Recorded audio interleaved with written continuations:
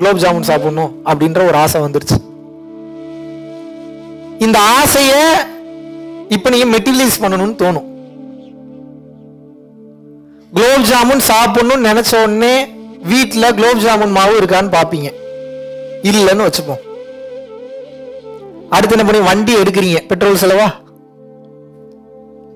வண்டி எடுத்துட்டு கடை வரைக்கும் போவீங்க. உங்களோட உடல் அதுக்காக செயல்படுதா?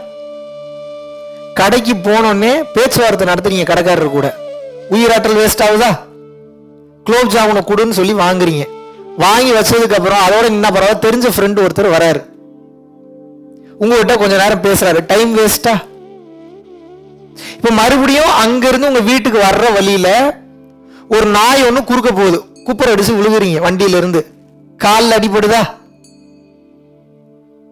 மறுபடியும் சரி சின்ன அடிதான் ஊமக்காயம் தான் சொல்லிட்டு வீட்டுக்கு போறீங்க. இப்ப குலோப் ஜாமுன்ல குலோப் ஜாமுன் செய்றீங்க சாப்பிடுறீங்க.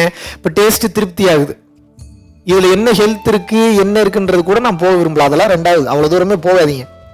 இந்த குலோப் ஜாமுன் சாப்பிடணுன்ற ஒரே ஆசைக்காக உங்களோட உடல் உங்க டைம் உங்க உழைப்பு வீணா போச்சா போகலையா?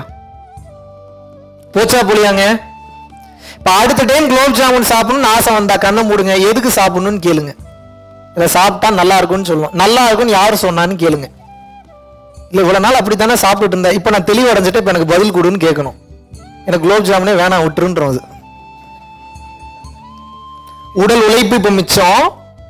உங்களுக்கான உயிராற்றல் மிச்சம். உங்க டைமும் மிச்சம். அதுக்காக குலோப் ஜாமுனே சாப்பிட வேணாம் நான் சொல்ல. தேவைப்பட்டா சாப்பிடுங்க. சும்மா தேவையில்லாத உங்க மைண்டு கிளப்பக்கூடியதை மொத்தத்தையும் மெட்டீரியலைஸ் பண்ணிக்கிட்டே இருக்கீங்கன்னா குடும்பம் உருப்பிடுமா? இதுதான் மைண்டை நீங்கள் கையாளுறது. இந்த மனம் என்பவன் யாருன்னா உங்களுக்காக படைக்கப்பட்டவன் உங்கள் வேலை செய்கிறதுக்காக உங்கள் வேலையை செய்வதற்காக படைக்கப்பட்டவன் தான் இந்த மனம் என்பவன். ஒரு கட்டத்துக்கு மேல அந்த வீட்டுக்காரன் ஆக்சுவலா உண்மையான வீட்டுக்காரன் நீங்க தான் இப்ப அவன் வீட்டுக்காரனா மாறிட்டான். அவன் வேலைக்காரன் தான் நியாயப்படி. இப்ப அந்த வேலைக்காரன் என்ன பண்றான்? உங்க உயிரை எடுத்து உங்க எனர்ஜி எடுத்து உங்களுக்கு உண்டான எல்லாத்தையும் எடுத்து இப்ப கட்டளை போட்டுட்டு இருக்கான். போ இதை பண்ணு போ அதை பண்ணு இதை ஃபாலோ பண்ணு அதை ஃபாலோ பண்ண அவனு சொல்லிட்டு இருக்கான் நீங்களும் செயல்பட்டுக்கிட்டே இருக்கீங்க. புரியுதா புரியலையா உங்களுக்கு? இப்ப நான் சோறு போடுறேன் அவனுக்கு. என் வீட்டுல வேலைக்கு வச்சிருக்கேன். நான் சம்பளம் கொடுக்குறேன். என் வேலைக்காரன் நான் சொல்றதை கேட்கணுமா? அவன் சொல்றதை நான் கேட்கணுமா? இந்த மனம் என்பவன் உங்களது வேலைக்காரன். ஆனால் இப்போது அவன் உங்கள் எஜமானனாக மாறிவிட்டான். எத்தனை பேத்துக்கு புரியுது? எப்போது இந்த வேலைக்காரனை வேலைக்காரனாக மறுபடியும் நீங்க மாத்திடுறீங்களோ முடிஞ்சு போச்சு. இதுக்கு பேர் தான் புத்தான்றாங்க. இந்த நிலைக்கு பேர் தான் புத்தா. புத்தா என்பது பேர் கிடையாதுங்க. புத்தா என்பது ஒரு நிலை.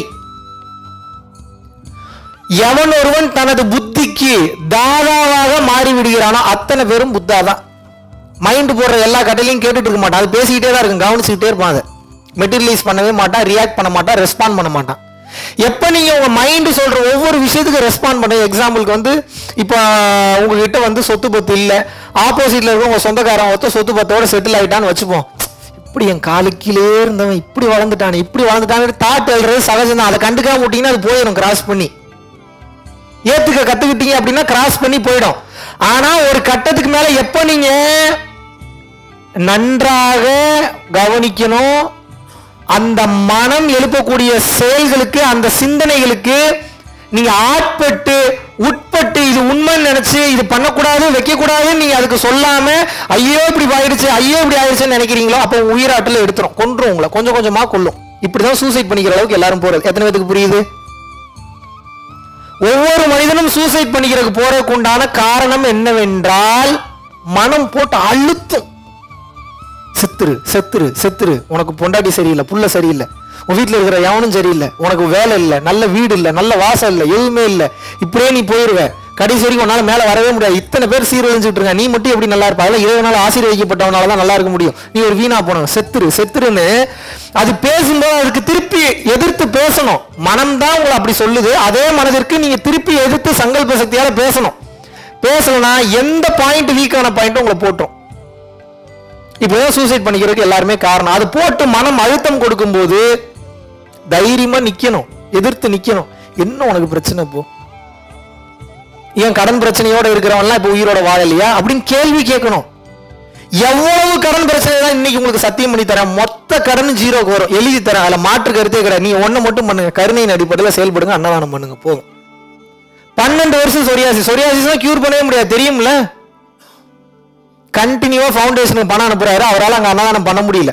எப்படியோ நீங்கள் கரெக்டாக பண்ணுங்கன்னு சொல்லி கண்டினியூவாக பணம் அனுப்புகிறாப்புல ஒரு குறிப்பிட்ட காலகட்டத்துக்கு அப்புறம் தான் இந்த பிரச்சனையை விட்டு முடிவு கேட்கலான்ற ஒரு மருந்து வந்து நாற்பது நாள் அந்த சொரியாசிஸ் இருந்ததுல சின்ன சின்ன லெவலில் உடம்பு ஃபுல்லாக அவருக்கு பிரச்சனை. ஃபோட்டோஸ் எடுத்து பார்த்தீங்கன்னா தெரியும். ஃபுல்லாக கியூர் ஆயிடுச்சு தெரியுமா உங்களுக்கு? அருளிற்கு அப்பேற்பட்ட ஆற்றல் என்பது உண்டு.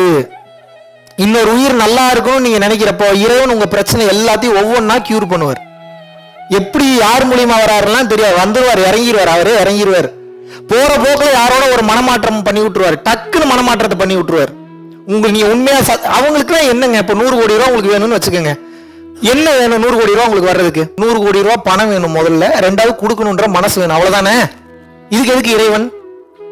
ரெண்டு விஷயம் வேணுங்க. நூறு கோடி ரூபா உங்களுக்கு வேணும்னா என்ன வேணும்? என்ன வேணும்? நூறு கோடி பணம் வேணும் கொடுக்கிறவர்கிட்ட. ரெண்டாவது கொடுக்கிறவர்கிட்ட கொடுக்கணும்ன்ற மனசு வேணும். இப்ப நான் என்ன சொல்றேன்? நூறு கோடி ரூபாய் ஒருத்தர்கிட்ட இருக்கு. கொடுக்கணும்ன்ற மனசு இல்லையே. இந்த மன மாற்றத்தை ஏற்படுத்துறது யாரு? ஏற்படுத்திடுவார் மேல இருந்து நீங்க சத்தியத்தின் பாதையில நின்னீங்கன்னா போதும். கனவுல போய் சொல்லிடுவாங்க போற போக்குல மனசை மாத்தி விட்டுருவாங்க. உங்களுக்கு எவனா வெடிகுண்டு வைக்கணும்னு வந்தாலும் போற வழியில வேற ஏதாவது இடையில வேற எவனோ ஒருத்தன் அமிச்சு அவன் மனமாற்றத்தை ஏற்படுத்தி எல்லாம் ஃப்ராக்ஷன் ஆஃப் செகண்ட்ஸ்ல நடக்கும். அப்படி நடக்கும். எப்படி நடக்குதுன்னே தெரியாது. உங்களுக்கு என்ன வேணுமோ டைம் டைமுக்கு வரும். டான்னு கிடைக்கும். எல்லாமே அவர் கண்ட்ரோல்ல தான் இருக்கு. எப்படி உங்களை மட்டும் விட்டுருவாரு அவர்? யோசிங்க நீங்க. எப்படி விடுவாரு? அப்படின்றதுக்குள்ள மனமாற்றம் நிகழும். ஆனா என்ன பண்ணணும் அவருக்கு நம்ம? ஃபார்முலால நிக்கணுமே. கருணையின் அடிப்படையில நிக்கணுமே. நின்னா தான் உங்களுக்கு அவர் ஹெல்ப் பண்ணுவார். நிக்கலன்னா ஹெல்ப் பண்ணவே மாட்டார். ஒவ்வொரு செகண்டும் உங்களுக்கு அருள் கொடுத்துட்டு இருக்கிறார் நீங்க கவனிக்கவே இல்லை. நீங்க பார்க்கவே இல்லை. நீங்க சாப்பாட்டுக்கு நமக்கு வழி இல்லாம இருக்கா? எனக்கு நல்ல சாப்பாடு இல்லைன்றீங்க. சாப்பாடே இல்லாம எத்தனை பேர் இருக்கான் எனக்கு கையில இந்த பிரச்சனை இருக்குங்கன்றீங்க. கையே இல்லாம எத்தனை பேர் இருக்கான் அப்ப இவ்வளவு தூரம் உங்களை படைச்சு பாதுகாத்து கொண்டு வந்திருக்காருன்னா ஒரு நாளாவது அவர் நீங்க நன்றி சொல்லியிருக்கீங்களா? இறைவா எனக்கு இப்படி ஒரு நல்ல கையை கொடுத்துருக்க நல்ல காலை கொடுத்துருக்க நல்ல வாழ்க்கையை கொடுத்துருக்க குறைவில்லாத சாப்பாட்டை கொடுத்துருக்க. உனக்கு நான் நன்றி சொல்றேன்ப்பா. இறைவான்னு என்னைக்கா நம்ம நன்றி சொல்லியிருக்கோமா கோயிலுக்கு போய் போடுற காசு நம்மளே உள்ள போறதே பிச்சை அவர்கிட்ட வாங்குறதுக்கு தான் போறோம்.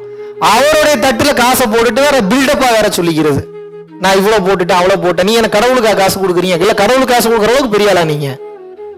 பெரிய ஆளாங்க நீங்க?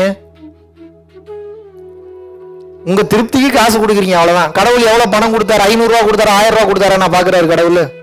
என்ன மனசுல வந்திருக்கான் அவன்? என்ன தன்மையில வந்திருக்கான்? நல்லா புரிஞ்சுக்க உங்களுக்காக நீங்க வேண்டதை விட்டுட்டு என்னைக்கு இன்னொருத்தன் உங்களுக்காக வேண்டானோ அந்த வேண்டுதல் உடனே பலிக்கும் ஒரு நாள் கூட எனக்காக நான் வேண்டினதே கிடையாது. ஆனா இன்னைக்கு என்ன கமெண்ட்ஸ் எடுத்து பாருங்க. ஒவ்வொரு உயிர்களையும் நீங்க எடுத்து பாருங்க. இதுதான் வாழ்க்கை. உங்களுக்கு குறைவில்லாத செல்வத்தை இறைவன் கொடுக்கணும். ஐந்தொழில் புரியக்கூடிய ஆற்றலை வல்லார் கொடுக்கட்டும். பாருங்க நமக்கு நான் எனக்கு வைக்கக்கூடிய நான்லாம் கூட இப்படி டிசைன் டிசைனாக வேண்டுறீங்களேப்பா. உங்களுக்கு கைகால் சுகத்தை கொடுக்கணும். உங்களுக்கு அமையக்கூடிய வாழ்க்கை நல்லபடியாக அமையணும்.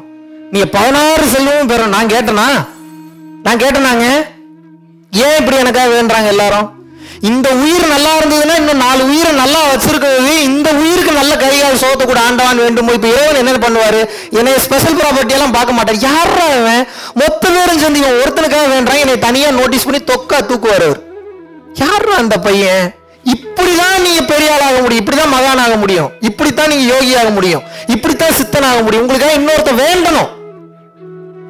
இருக்கிறவன் பூரா உங்களுக்கு சாபமே விட்டுட்டு இருந்தா எங்க நடக்கும்? வேலை செய்யறதுக்கு ஒருபடியா வருமானம் கொடுக்க மாட்டீங்க. அடுத்தவனோட வளர்ச்சியில எல்லாரையும் சொல்லல. இப்ப நான் சொல்லும் போது யார் யாருக்கு வலிக்குதோ மாத்திக்கங்க அவ்வளவுதான். ஜென்ரலா சொல்றேன்.